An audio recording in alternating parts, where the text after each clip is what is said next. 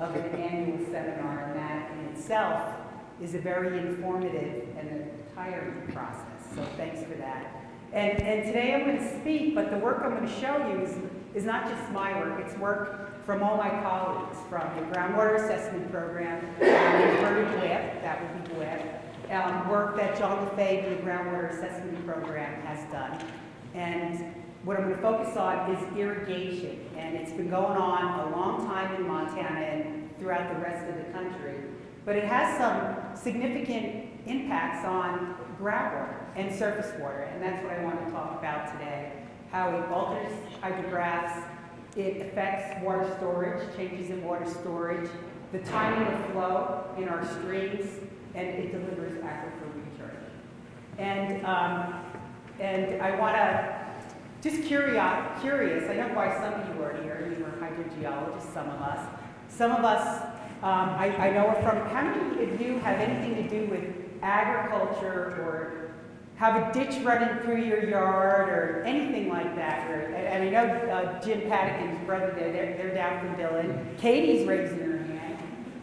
What do you, what do you got going on?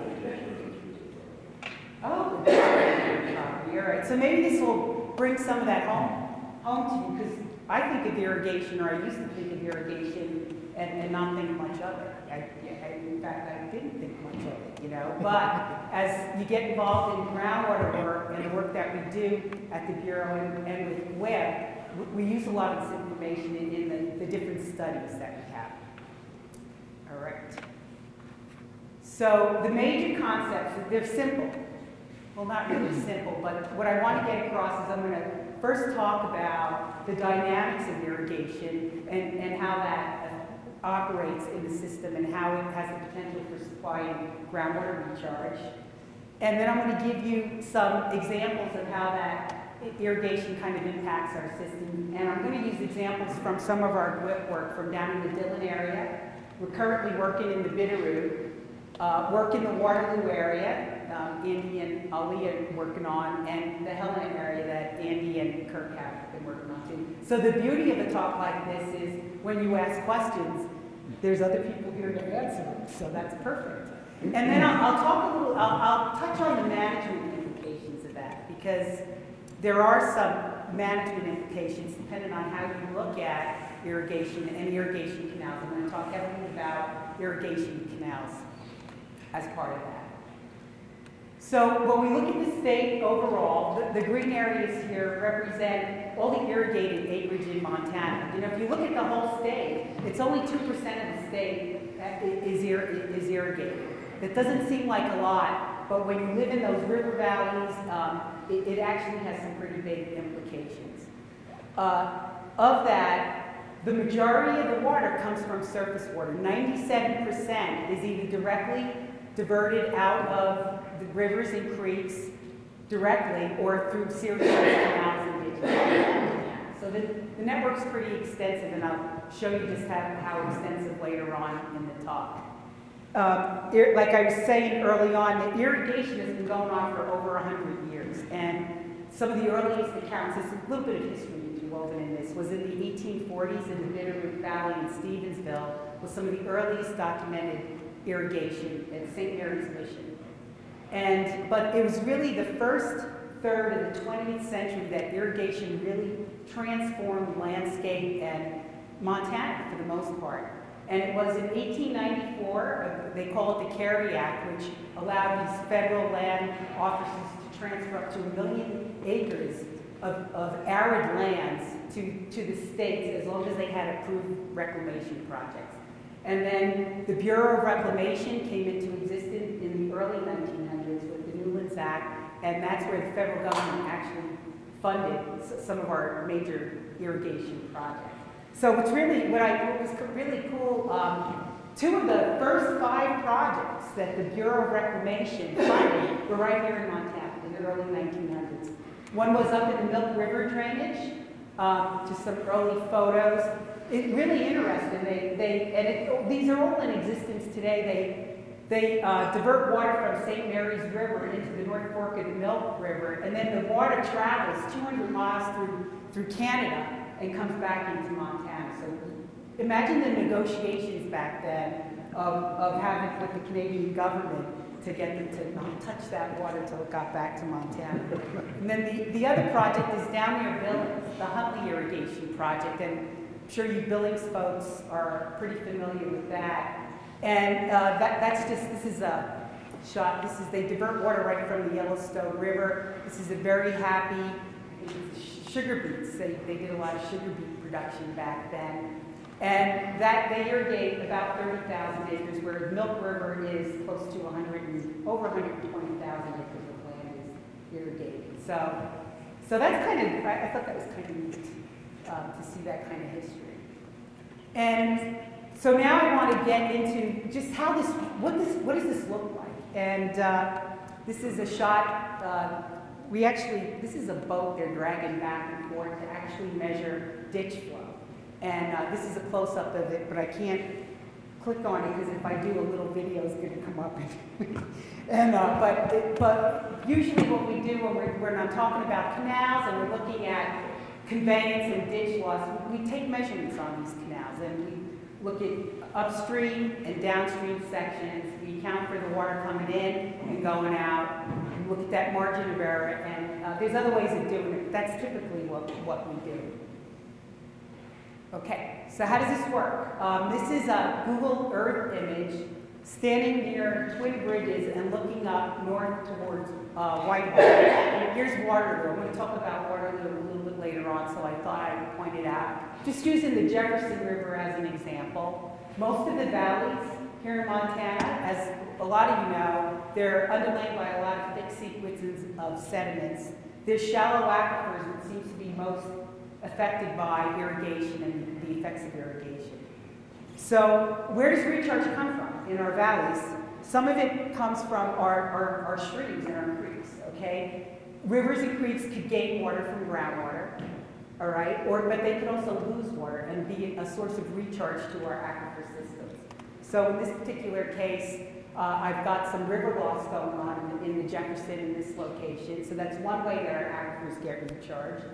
Another way, and, and you all know this, is precipitation. If you didn't catch that, the groundwater levels, this is our uh, groundwater level right here, came up a little bit with precipitation. And then another mechanism, um, well, there's always that snow melt and precip in the higher elevations. Uh, but then during the irrigation season, typically from April to October, everybody's, you guys are getting ready to turn on your canal down, down in Dillon. And these canals, they don't all the time leak, but for the most part, there's leakage components attached with them. And they also supply recharge to the aquifer where it's stored and eventually ends up back in our surface water. It's more of a, a delayed response. And the beauty of that is some, a lot of times it augments stream flow late in the season when, when, when you really need it. And, and it apply, um, it's also uh, gives a lot of base flow to our uh, creeks and rivers around here. And then the, the other mechanism is applied irrigation water. So there's how we convey it with the canals and then how we apply it.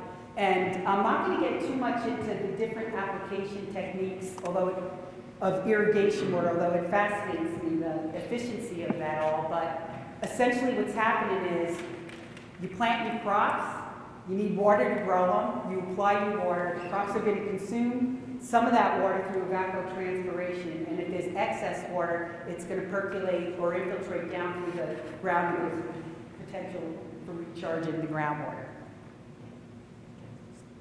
This is, they, this, I'm recharging it. Sorry, I, okay. So, uh, this is really interesting. So when we were starting to put together some informa- information, actually, uh, Dean came across this, a report back from 1900, Department of Agriculture, that they were uh, looking, Elwood Mead is actually, you kind of start digging, you can really get, really get attached to the history of this. Back in the 1900s, they were very interested in some of the same things that we're interested in today. And they recognized the importance of ditches and how they are, but they were also very interested in the, the efficiency. And, and they wanted to measure that. And Elwood Mead and his cronies, they, they looked at, they, in order to deal with irrigation and uh, agriculture, they, they realized that you needed to understand, quote unquote, the duty of water, the climatic conditions, and study the influence of different methods of application and also the requirements of the crops. We do that today, so I don't know why I found that so really inter interesting that they, even back then, they were looking at that. And without that knowledge, they go, yeah, he goes further on to say, this is in the introduction, that, you know, irrigation works and the distribution of water is very, very largely dependent on individual judgment and conjecture. And we deal with that today. How many of you go out and you, you hear your landowner stories about the well going dry or the stream going dry, but there's really no data to back it up. And, um, well, I mean, obviously there's visual data, but um, we like to collect data to support and help make better management decisions. And, uh, you know, this is a very interesting document to go through. When I was thumbing through it, uh, they, they had a section on that, the canal efficiency, and they looked at Wyoming, they looked at Utah, Arizona, and also Montana. And when I found this table, I was looking down, there's a couple of ditches here in the West Gallatin. Actually, Tom, uh, Tom Halleck and Mary have actually did a little work on the Farmers Canal. The big ditch is over by you guys in the Billings area, and the Republican Canal is down in Hamilton. And that's a ditch that we've actually have done some work on. So I'll, um, I'll show you that in a minute. So back then, that's what they were doing. They were measuring canal loss and looking at canal efficiency over 100 years ago. And uh, they reported, the, this is their rate of loss per mile in percent. We typically report it in uh, cubic feet per second, which is equivalent uh, uh, to about 448 gallons per minute, just for, for reference. So, uh, so that was back in 1900s. All right, so now let's move down to the Bitterroot. We're going to move down to that Hamilton area, and uh, which is right here. And this is that Republican, today they call it the Republican Ditch. It actually diverts water from the Bitterroot River just south of Hamilton, kind of runs its length and right around Corvallis, it dumps into another canal system. And we did some work on it right around in this area. For those of you familiar with it, if you know where the fairgrounds are, it's just you take that fairgrounds road and kind of go from there. And, and this is a section of the ditch which, again, 100, over 100 years ago, this ditch was being monitored and um, this is standing on that Fairgrounds Road. They've actually lined that section of the ditch. So when we talk about management, if you're an irrigator or if you're a ditch rider managing a, a canal district, you want to be as efficient as you can in conveying that water to where it needs to be. But today we realize that there's implications for that and that there's, um, you can call it what you want, incidental recharge or accidental recharge or artificial recharge, but these leaking ditches actually help supplement um, and augment our, ground, our groundwater and surface water resources today.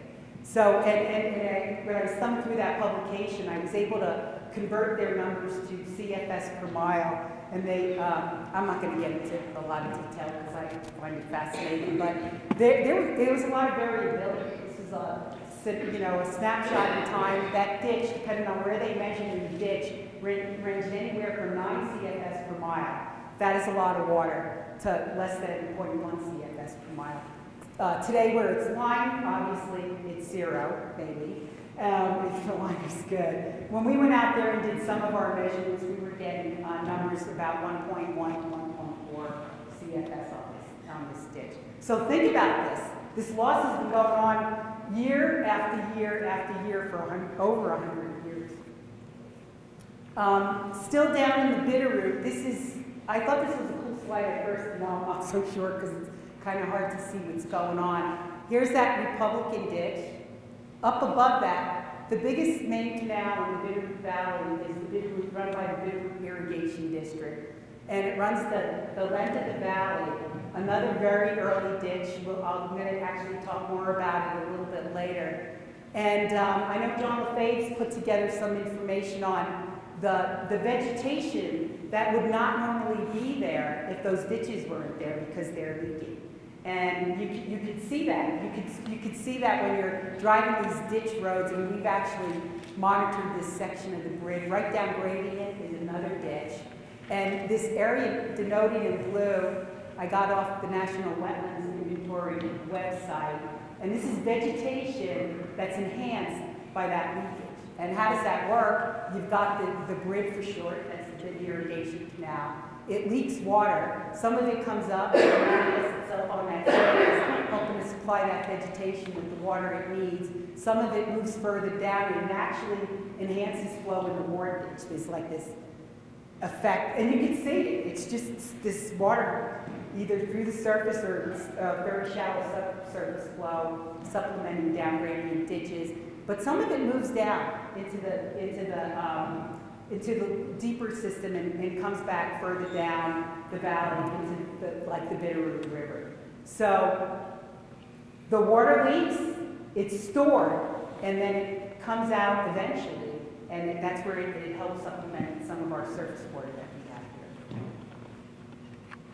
So, and at that, kind of what I just said, the, the, the canal systems that we have, and, and even the irrigation, they're, they're building us new hydrologic systems, resetting what, what's baseline. We think, we think baseline, well, baseline today is what it is today, but it's not really what was here hundred years ago, over hundred years ago.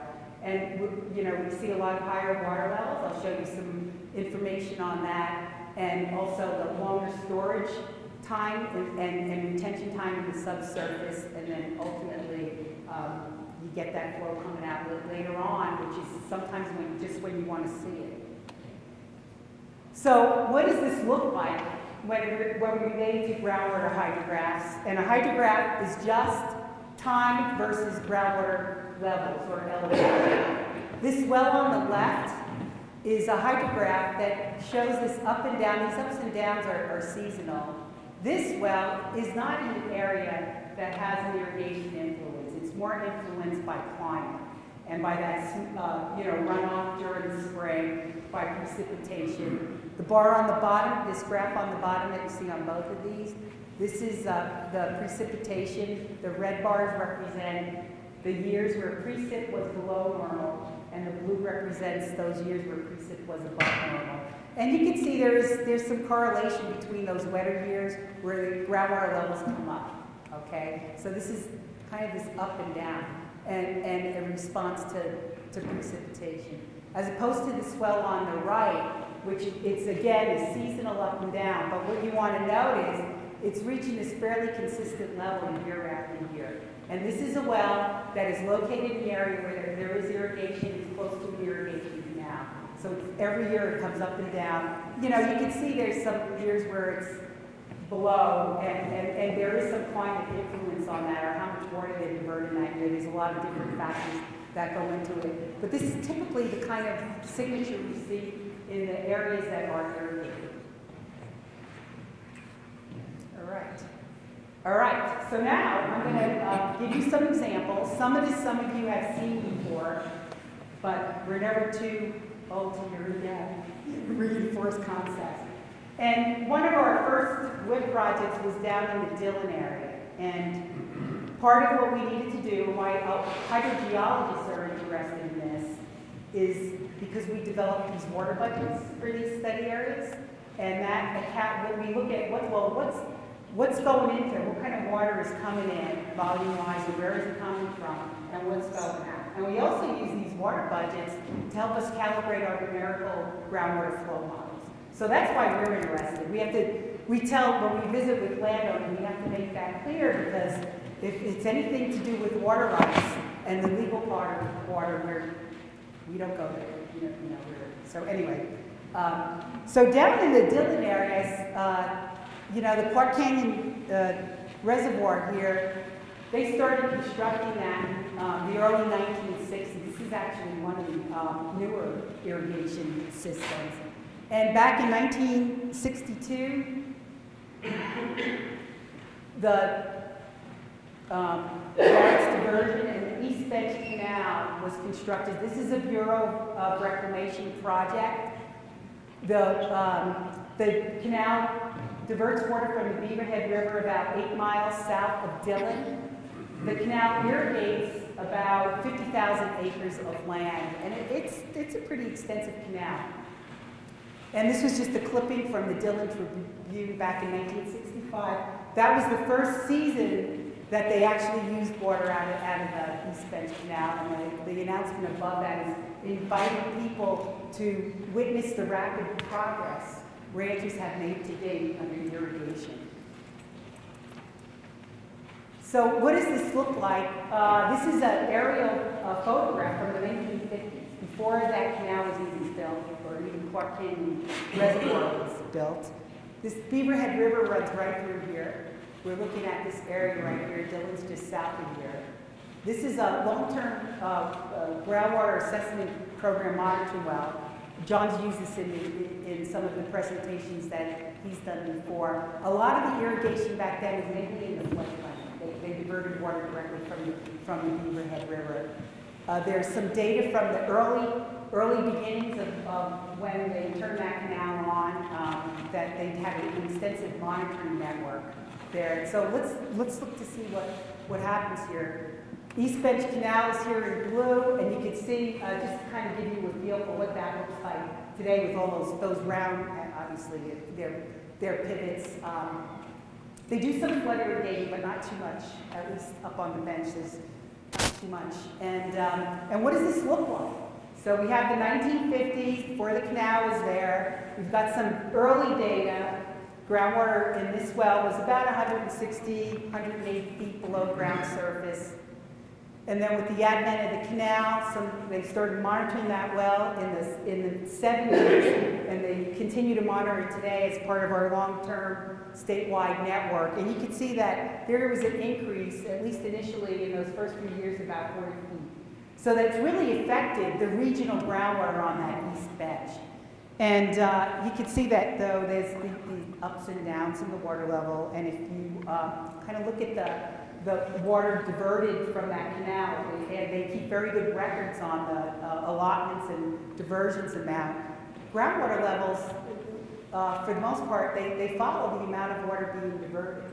And this is a combination of, yes, that canal is leaking water, I'm going to show you that in a minute, but it's also the, that the water applied to those fields that they irrigate up on, on these beds. Uh, you'll note here in, in 2004 it was so dry they actually Nobody irrigated that year. Can you imagine how devastating that was? I, I and that's when actually a couple of, of those landowners started drilling some big irrigation wells to, try to pump in use groundwater for that. But you could see that uh, groundwater levels just started plummeting. Now today, they're kind of, it looks like they've been steady the last few years. All right, so um, as part of what we do, we came in, we wanted to know, well, what are these, what's the canal doing? What's it losing water? We needed that to make some projections on how much the groundwater was being recharged by the, by the canal. So we did, uh, these red bars represent a section, about 17 mile section where we went out and we, we measured flow in the canal. We counted for the water that, they were, that was being diverted. And we came up with an average uh, seepage rate or leakage rate of about two cubic feet per second per mile. This is uh, actually a grad student and dean there. They were dragging that boat back and forth. We use the boat when it's too deep to get in. There's a up on what we could. Uh, and, and, uh, and then what we did also, and this is really kind of interesting, in this site right over here, we installed, we drilled some wells, and we had a, um, This was a, we contracted with a, a- a gentleman that, or a company that does geoprobe work, and we installed some PVC wells very close to the canal. The canal's running right here, and, and I'm gonna show you what that looks like. So now we're looking, we're actually looking north towards, uh, Twin Bridges.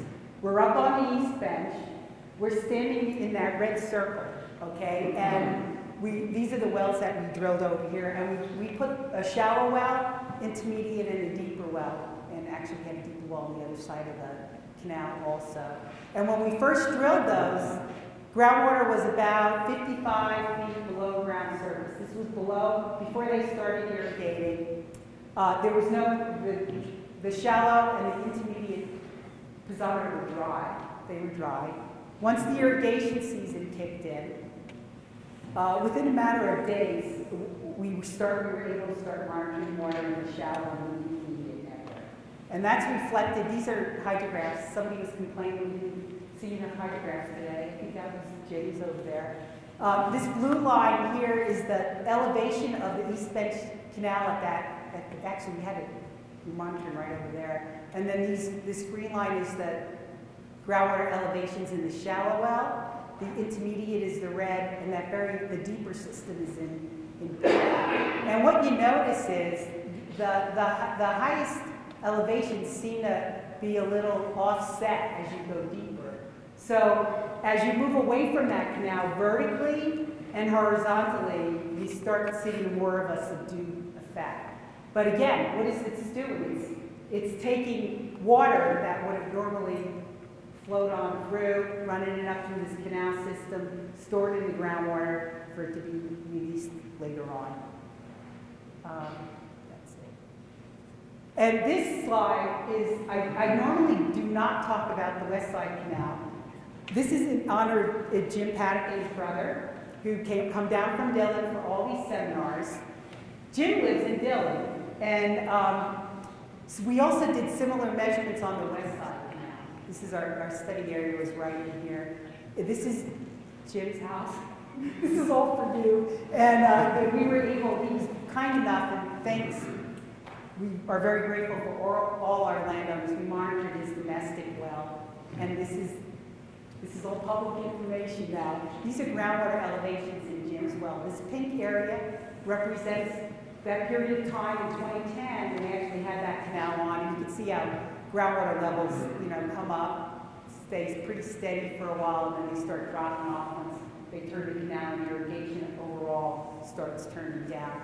We, uh, we estimated 1.2 CFS per mile on the west side.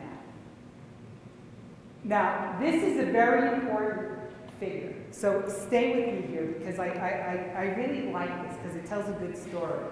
So, we've got the river running over here. It's a schematic, obviously. We've got the east bench, and uh, we, call it the west bench over here, and here's the east bench canal, west side canal. When we went through and looked at, okay, how many acres are irrigated? What kind of irrigation method? What's the efficiency of it? What are the crops? What are they using? What's the ET? What's the evap, you know, ET rate? We came up within our study area that that amount of irrigation water applied to the field was about the same uh, in the study area on the east bench and on the, on the west bench, about 11,000 acre feet um, during the irrigation season of, of 2010. Then you add the canal loss in, okay? And that adds an additional 17,000 acre feet over on the east bench. And this is just the main canal, it's not all the laterals and all that. And, and the west side canal was about 6,000 acre feet per year. When you add that together, potentially you've got a lot more water coming in on the, on the east bench side. And if you combine that, that's about 44,000 acre feet per year of potential irrigation recharge that's coming into our groundwater system. If you compare it to the annual flow in the Bitter River that year, that's about 20 to 25 percent of the total flow in that river. Does anybody think that's, I think it's kind of cool. That's pretty cool. That's, uh, that's pretty significant, actually. And so, so that's the story of the Dillon area. And now I want to move into the Bitterroot, which has its own fascinating history when you start digging around with that. Many of you know that, that valley, uh, they're known for their apples, you know, and uh, actually in the 1870s, it's the Stevensville area, that's when the apple growing actually started. And in the late, later on in the 1800s, Marcus Daly, you know, one of the copper kings, he had, he, he owned land down there, he actually started the town of Hamilton, and he was very interested in bringing irrigation up up into the Bitterroot and up on the benches. Unfortunately, he died in 1900 and, and didn't realize a lot, of, a lot of what he had envisioned. But back then, what $50 could have gotten you, it would have gotten you a down payment on a 10 acre tract of land in the Bitterroot Valley to, to, to be a new road to health, wealth, and independence. And they, because of the climate and the beauty, they were trying to really attract, back then they were really trying to develop that land and, and make it a, a big producer, a moneymaker for some. These were just some uh, brochures you could find, you know, everything's digital these days, but it was just really fascinating. And in this brochure, this Paradise Heights, this is down in the Hamilton area. I don't like to read quotes, but I'm going to read. Good wells of purest water are obtained throughout the valley at a depth of 8 to 30 feet. Only occasionally must a deeper depth be sought. Today the wells are they're deeper. uh, the water problem is never a serious one. Irrigation creeks are filled with running water, clear, cold, and pure. So um, I wish I had ancestors that bit off on this. But anyway. So with that, in, in, the, um, in the early 1900s, the big ditch was, they started constructing on the big ditch. It's one of the biggest canals in the valley today, actually. But work on that started in 1907. And the theory was, you know, that, what is it, Field of Dreams, build it and they will come. Well, if they build and get this water where it needs to be, they will get people engaged in, in coming and invested in the valley. And that's exactly what they did. And it, the, the history behind the ditch itself and the financial woos of the ditch are just fascinating, but I'll save that for a history seminar, I guess. Um, so they started constructing this ditch in 1907, actually went public in 1920. And the, the, the uh, ditch actually starts at Lake Como, south of Hamilton, and kind of runs the length of the valley, uh, about 72 miles, and irrigates today about 17,000 acres. This is some of the fruits of the irrigation. It's all apple related. Here's the Bitterroot Irrigation. They, today, that's the name of the district that manages that ditch. And um, here's this, this could my grandfather. I'm just. Uh, so we're going to look at this area right here. We did some work, uh, Dean Snyder and Tom Mize and I, on uh, on this canal because it's a big player in the system. And again, we wanted to look at, well, how does this affect groundwater? So we're going to kind of to zoom into that area over there. And um, here's Hamilton. This is that area I was talking about. And we worked with the, the ditch manager, John Crowley, great guy. Um, and he pointed out a reach of ditch where they weren't diverting any water. It's about six miles. Um, and we were able to instrument an upgradient and a downgradient side. We take hourly measurements and periodically went out there and actually measured flow in the ditch. And we came up with uh, uh, the data, we collected some data in 2014 and the 2015 irrigation season.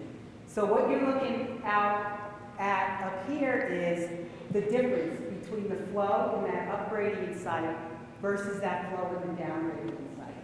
And this bar, the zero, represents everything staying the same. In other words, what's coming in is what's going out. Everything below that bar is where the ditch might be gaining water. Yes, ditches do gain.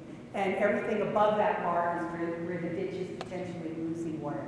We have to be cognizant of our margin of error, which is at, at 10 CFS, that's about a 5% error in there. So, you know, it's hard to say what's actually going on in there. But for the most part, if you look at this difference for both seasons, you see that it's variable. That loss varies depending on where you are at in the irrigation season. It also varies along the ditch. This just is the data that we collected in this region ditch. ditch. And, um, and so, uh, you know, we, we uh, obtained some estimates of loss of anywhere from zero, it's not losing at all during certain periods, to up to four CFS per mile. What does that mean? Like, it's hard to kind of envision. So, if you take that, uh, that, that reach of ditch and those numbers, you know, we have hourly measurements, and you translate that into, uh, for the 2015 irrigation season, a volume of water, that's 36,000 acre feet of water. A typical household runs about 1.3 acre feet of water a year. Just, so this is just like a visual thing. If you do the math, it, that could potentially supply enough water for 27,000 as well. So, so there's great potential for these ditches and irrigation to supply a lot of water. And I think that's it for the Bitterroot. And now we're, we're moving. We're moving up north again. We're in Andy Bobst and Ali. Ali did the, uh, is the modeler for the work that we're doing up in the Upper Jefferson. This is over by Waterloo. Does everybody know where Waterloo is? Not too far from here.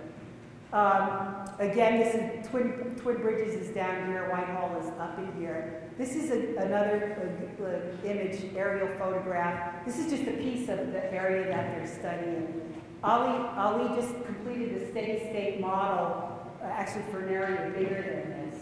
And one of the things that they, there's this Creekland Canal in here, and Andy estimated, I think it was two CFS per mile as a loss, and Ali took that information. These, these groundwater models take real data, and we use that data, and we um, develop a conceptual model, and then we translate that into these numerical models, and they help us make predictions on what might happen if we uh, pump this well, this amount, and we, we change land use. They help us make predictions. So uh, Ali ran this model with uh, the simulation, steady state model is canal is losing two CFS per mile, and wanted to look at the influence on the Jefferson River. And uh, this is what this slide show. Again, it, this is the, that what we just looked at. This is about a five mile reach.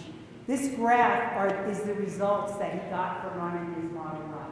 So with that ditch not running, groundwater elevations uh, or flow, sorry, flow in the Jefferson River represented by this red line. And then once you turn the uh, canal on in the model, you can see that flow is, it starts accreting flow from the ditch. So by the time you're about, at this point here, there's an additional 5 CFS flow in that river that you can attribute to the ditch. So these, the, the area, this is just another example of how these, the leakage loss and um, irrigation from applied fields, but not in this case because we didn't model that piece of it. So then the next question I wanted to ask, because I'm a very simple person, I, I like things very simple. Well, how long would it take? Like, so how long would it take if a drop of water here got into the river? And Ali, because he's a modeler, said, I could do that for you. And, uh, and he did. And um, this is just, given the aquifer properties. There's a lot that goes into these models. They look really simple right here. There's a lot that goes into that. And based on the work that they, Andy did, um, you know, and knowing the aquifer properties and the geology, if a drop of water here, it would take anywhere from 30 to 60 days along this flow path.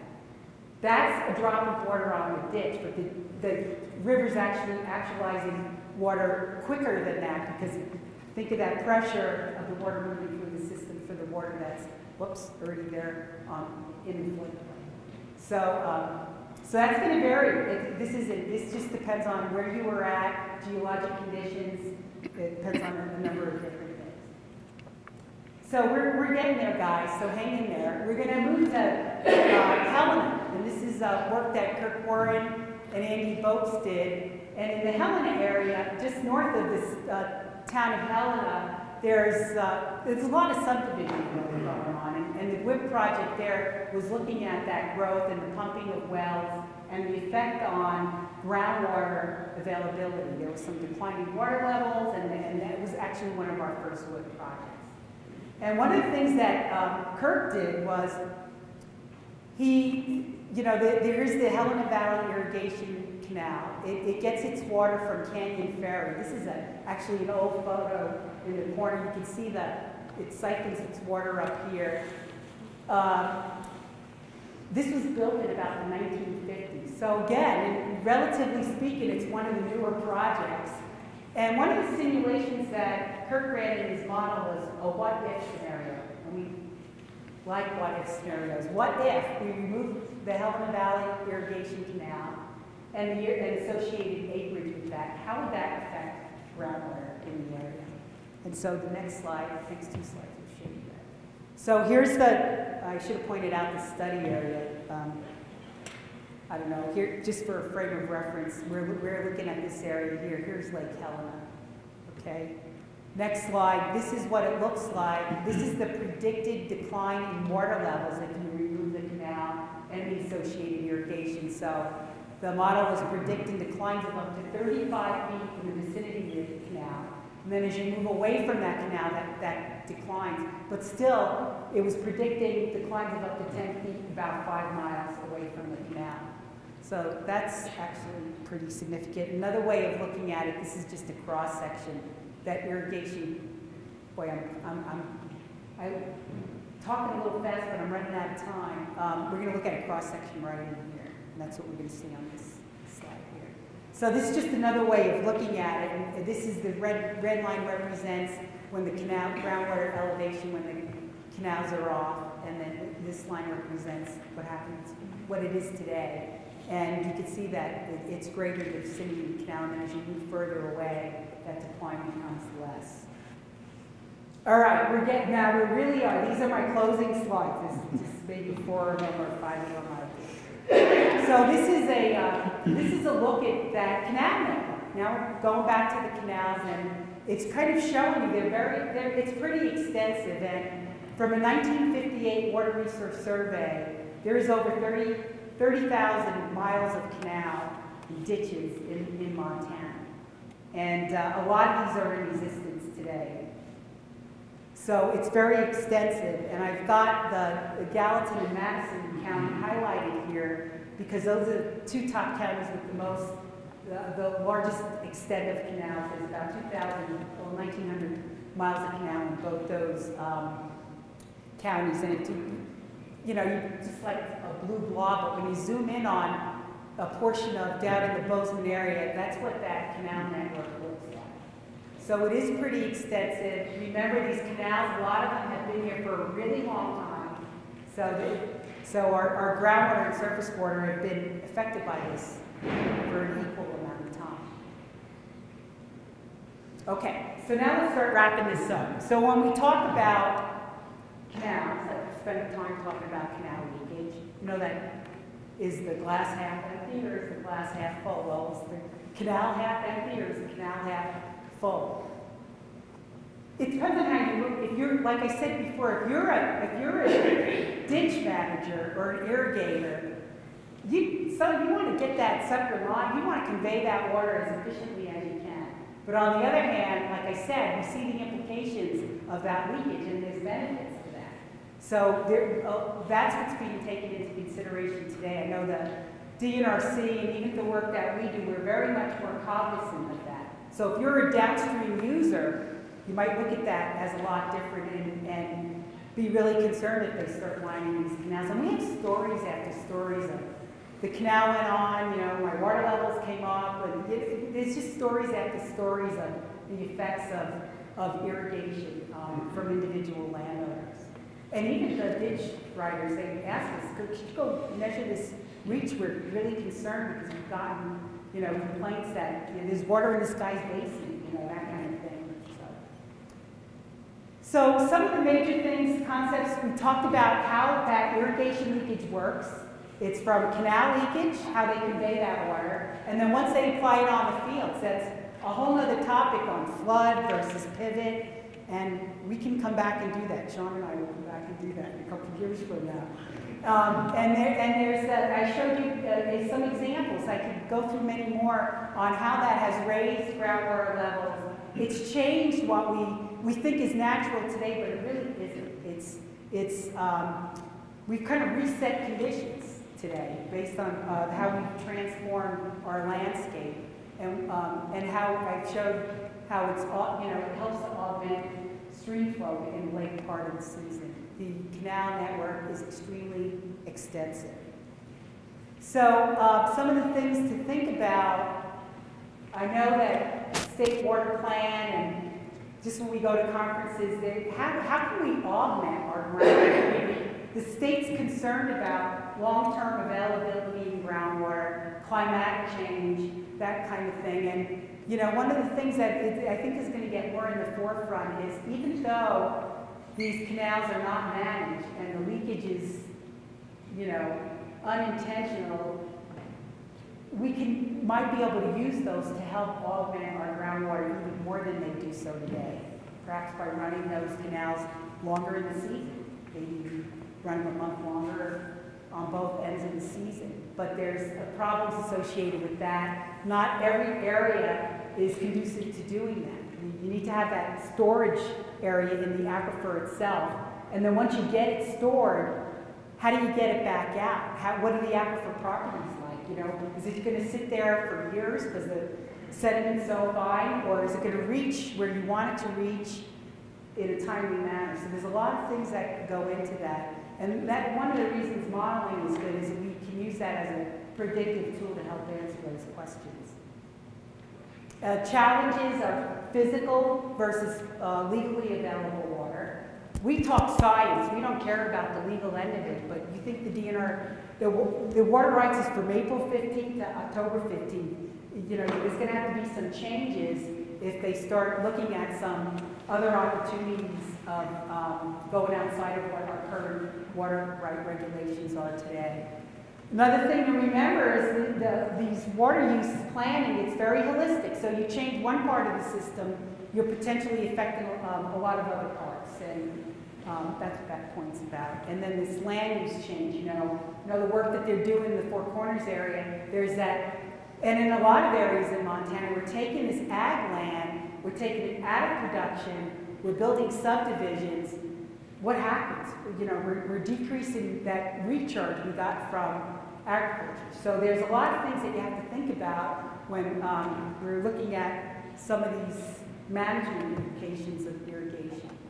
And then finally, in closing, there's so many people who acknowledge these are GWIP people, other people. Glenn worked, uh, Glenn Shaw's a professor here, but he actually worked with GWIP for a while. Um, so there's a, a number of people here to thank. Sarah Edinburgh, I don't know if she's here today, but uh, she's a, she's a grad student that actually helped with some of that uh, work in the um, Bitterroot area. There's um, lots of students, countless landowners. Jim, could be our representative landowner. Thank you again. And then uh, these district managers of these canals, some of these guys, I think these guys have been great. You know, they're very interested in what we're doing. I wanted to thank uh, John Crowley and Dennis and Tim, you know, they're from uh, Dillon and the, the Bitterroot area. So we could not do this work without, without us, but also without the landowners or without working with these ditch companies and um, the, the ag, ag landowners. So that's all I have, and I did it, not too bad. You have two minutes for no questions.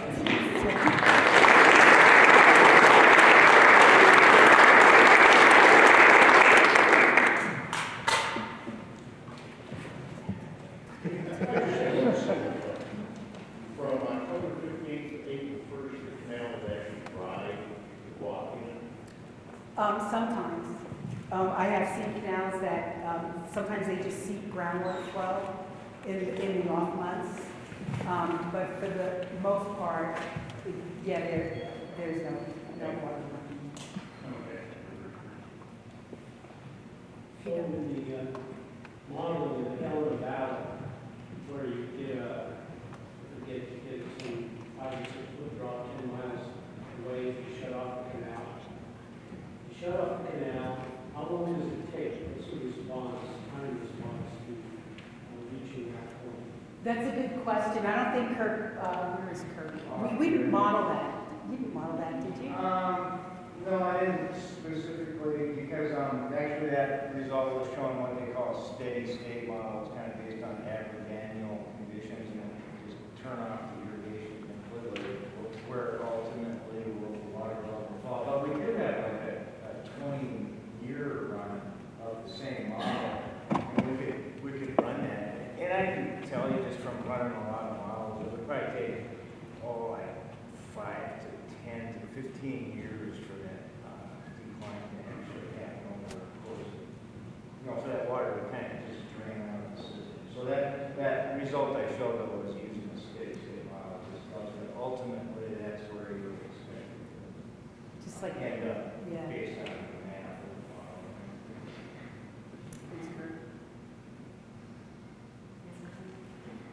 What do you have a feeling for what what the downstream implications are? I mean, I mean, hundreds, from eighty thousand miles downstream. Uh, that far down, I, I really have nothing to say. Um, I know that, um, in the more immediate areas, some of the, the downstream users actually rely on that tailwater or ir- irrigation return flow to help augment their supplies. Um, right now, as far as canal leakage, there's no, they don't manage that at all. Like, there's no, it it gets complicated unless you talk outside of where I don't know if I answered your Well, question. I'm just, I, I'm trying to think it through, but if you're using, if you're diverting water out of the stream to use for irrigation, and that water is not going downstream to North Dakota, you know, Well, remember, everybody's got water rights, you know, you can't just throw a pump in and start pumping away. There- There's water rights in Montana's in the process of taking these different basins and looking at what's actually used, so. But there are streams that are over adjudicated where, uh, if you look at all their water rights and add up how much they're entitled to take, it's way more than is flowing in, in, in the creeks today.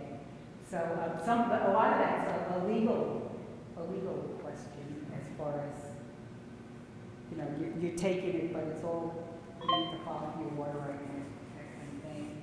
Uh, and I don't know too much about the, uh, regulation part of it in the permitting process when it comes to surface water, so. I would just add, then, there's also all the reservoirs going down the Missouri, uh, river navigation waters that the Corrigan communities through, so I think it's kind of Yeah. going down. Maybe the point that they have there is that, but this is really showing, though, it is improving base flow for the low flow part of the season. And that is a critical time when you're talking about fish and survival and all of this. It's It's smart. very important to maintain those stream flows during August and Ju- late July and August and September. Without that, the- uh, most of these streams would dry right up and there's zero water. But what about the downstream irrigators who need that water from May? When it's actually being diverted in Montana? I'll try it. Uh, in, in May and June, we have We a have tons of- flood. we have tons of All the snow melt goes down and so actually, they really would prefer less water in that part of the year. And they want it in the late part of the season during the growing season. If They have to Yeah, that's like in that Beaverhead, I forgot to just point that out, you know, that even though they're not intentionally managing flow in the Beaverhead River, they're diverting water. In, when they divert in May and June, that's high water month, so, you know, they're actually diverting it, and then, um, even though they're not intentionally managing the canals, it's unintentional management by storing it and having it released later on. And I've seen the down, when I used to do work in the big hole, some of those irrigation return flows, they come in later on in the winter. Mean, they, it, it just varies on when you see those returns in the rivers. All right, anything else? All right. All right, thank you.